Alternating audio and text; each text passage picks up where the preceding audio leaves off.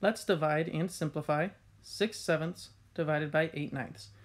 When we're dividing by a fraction, that's the same as multiplying by the reciprocal. The reciprocal of 8 ninths is 9 eighths, so we're going to multiply 6 sevenths by 9 eighths. Now we're going to multiply the numerator and the denominator across, but let's rewrite 6 as 3 times 2, 9 as 3 times 3, and 8 as 2 times 2 times 2, so that we can simplify our fraction. We can cancel the 2 on the numerator and the denominator, which leaves us with 3 times 3 times 3 on the numerator, which is 27, and 7 times 2 times 2 on the denominator, which is 28. So our final answer is 27 over 28.